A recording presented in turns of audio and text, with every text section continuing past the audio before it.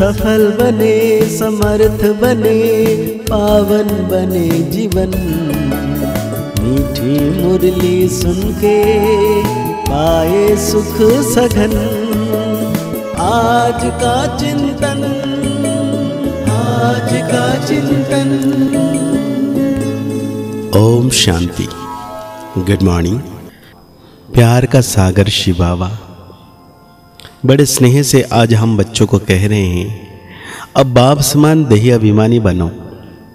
बाप की यही चाहना है कि बच्चे मेरे समान बन, मेरे साथ घर में चले। साथ में बाबा पूछ रहे हैं, तुम बच्चे किस बात का वंडर देखते बाप की शुक्रिया गाते हो? बाबा कहते हैं, तुम वंडर देखते बाबा कैसे अपनी फ़र्ज़ अदाई निभा रहे हैं। अपने बच्चों को राजयोग सिखलाए लायक बना रहे हैं। तुम बच्चे अंदर ही अंदर ऐसे मीठे बाबा की शुक्रिया गाते हो।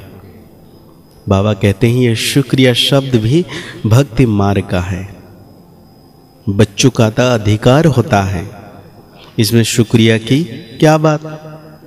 ड्रामा अनुसार बाप को बरसा देना ही है।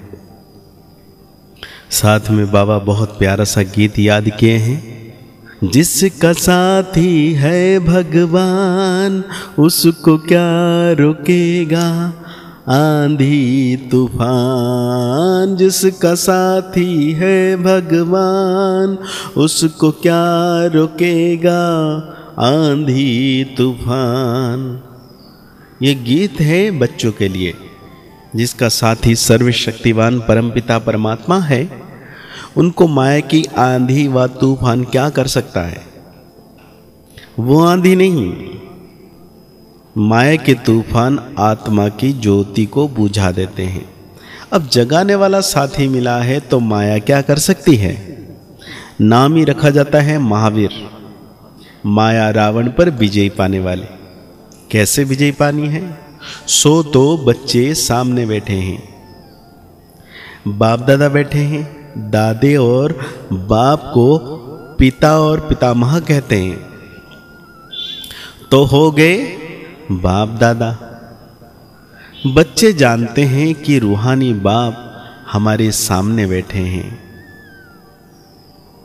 रूहानी बाप रूहों से बात करेंगे। आत्मा ही अर्गन्स द्वारा सुनती है, बोलती है, कर्म करती है। तुम बच्चों को देह अभिमानी होने का आदत पड़ गई है। आधा कलब देह अभिमान में रहते हो, एक शरीर छोड़ दूसरा शरीर लिया। शरीर पर नाम पड़ता है। कोई कहेंगे, मैं परमानंद हूँ। कोई का नाम क्या, कोई का क्या। बाबा कहते हैं, मैं सदैव देही अभिमानी हूँ। मुझे कभी देह नहीं मिलती। तो मुझे कभी देह अभिमान नहीं हो सकता। ये देह तो इस दादा की है। मैं सदैव देही अभिमानी हूँ। तुम बच्चों को भी बाप समान बनाने चाहता हूँ। क्योंकि अब तुमको मेरे पास आना है। देह अभिमान छोड़ना है। टाइम लगता है। बहुत समय से देह अभिमान में रहने का अभ्यास पड़ा हुआ है। अभी बाप कहते हैं, इस देह को छोड़, मेरे समान बनो, क्योंकि तुमको मेरा गेस्ट बनना है। मेरे पास वापस आना है। बाबा कितना प्यार से, सोमान से समझा रहे हैं, क्योंकि आत्मा बेसमझ हो गई है। क्योंकि बाप को भूल गई है। बाबा कहते हैं, तुम बाप को याद करो तो वो दृष्टि खत्म हो जाए। मेहनत है इसमें। हम आत्माओं की सर्विस कर रहे हैं। आत्मा सुनती है अर्गान्स द्वारा मैं आत्मा तुमको बाबा का संदेश दे रहा हूँ। ऐसा अभ्यास करना है। आत्मा ना तो अपने को मेल, ना फीमेल कहेगी। मेल फीमेल शरीर से नाम पड़ता है। वो तो है ही परमात्मा। बाप कहते हैं, आत्माएँ सुनती हो, आत्मा कहती है हाँ सुनती हूँ। तुम अपने बाप को जानते हो। वो सभी आत्माओं का बाप है। जैसे तुम आत्मा हो, वैसे ही मैं तुम्हारा बाप हूँ। जिसको परमपिता परमात्मा कहा जाता है। उनको अपना शरीर नहीं है। ब्रह्मा, विष्णु, शंकर को अपना आकार है। आत्मा को आत्मा ही कहेंगे। यह तुमको अब प्रैक्टिस पड़ी है। बाबा कहते हैं, प्रैक्टिस करनी पड़े। कौन सी प्रैक्टिस करना पड़े? दही अभिमानी हो रहने की। आत्माएँ सुनती है और बोलती है इन अर्गान्स द्वारा। बाप बेट आत्मा को समझाते हैं, आत्मा बेसमझ हो गई है। बाप की महिमा गाई हुई है, ओह प्रभु तेरी लीला, ओह मेरी, मत जिससे गति अथवा सदगति मिलती है। सदगति दाता तो एक ही है। मनुष्य गति सदगति के लिए कितना माथा मारते हैं।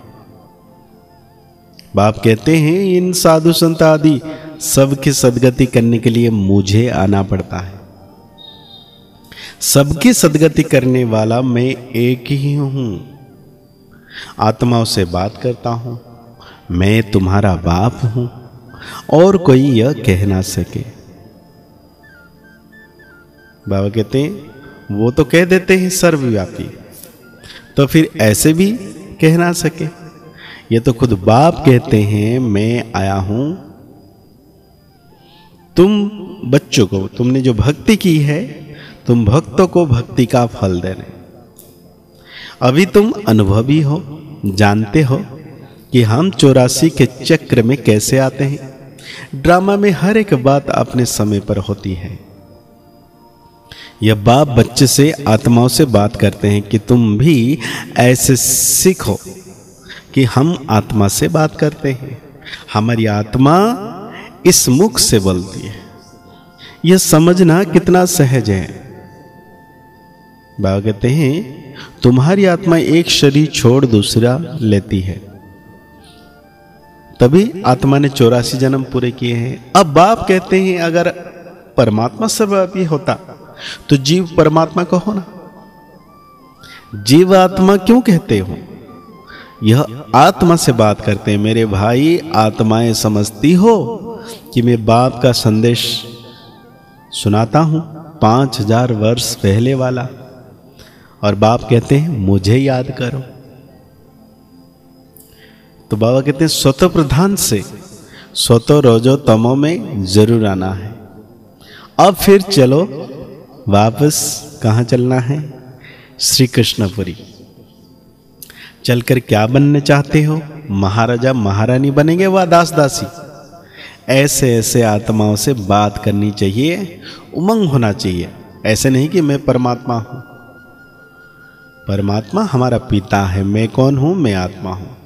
तो बाबा आज धारणाओं में कहते हैं, कल्प के संगम पर योग बल से दुख का चोपड़ा मतलब हिसाब किताब चुक्त करना है। नया जमा करना है, ज्ञान रत्नों को धारण कर गुणवान बनना है। मैं आत्मा हूँ आत्मा भाई से बात करता हूँ, शरीर विनाशी है। मैं अपने भाई आत्मा को संदेश सुना रहा हूँ, ऐसी प्रैक्टिस करनी है।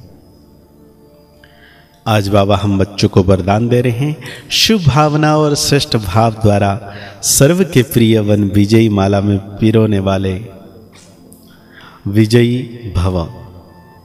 कोई किसी भी भाव से बोले व चले, लेकिन आप सदा हर एक के प्रति शुभ भाव, श्रेष्ठ भाव धारण करो। इसमें विजयी बनो तो माला में पिरोने के अधिकारी बन जाएँगे। क्योंकि सर्व के प्रिय बनने का साधन ही है संबंध संपर्क में हर एक के प्रति श्रेष्ठ भाव धारण करना। ऐसे श्रेष्ठ भाव वाला सदा सभी को सुख देगा, सुख लेगा। यह भी सेवा है तथा शुभ भावना मनसा सेवा का श्रेष्ठ साधन है। तो ऐसी सेवा करने वाले विजय माला के मणके बन जाते हैं। आज बाबा हम बच्चों को स्लोगन दे रहे हैं, कर्म में योग का अनुभव करना ही कर्म योगी बनना है। तो आज की मुरली के अनुसार हम सो मान लेंगे। मैं विजय माला का विजय रत्न आत्मा हूँ। मुरली को और गहरी रीति से चिंतन करते हुए निरंतर शिव बाबा की याद में रहना है। बाबा जो कह रहे हैं, उनकी श्रीमत पर चलना है। सर्वशक्तिवान बाबा सदा मेरा साथ है और सदा मेरे साथ ही है। मुस्कुराते रहिए, आगे बढ़ते रहिए, पुरुषार्थ करते रहिए। खुश रहें, स्वस्थ रहें, मस्त रहें मस्त रहें।